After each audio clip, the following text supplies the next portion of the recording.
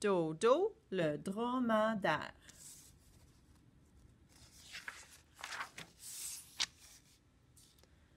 Dodo le dromadaire est couché sur le sable doré du désert. Il dort depuis deux jours. Dodo est-il malade? La médecin examine Dodo. Elle regarde ses dents et son dos. Ce dromadaire n'est pas malade, dit-elle. Il fait tout simplement dodo.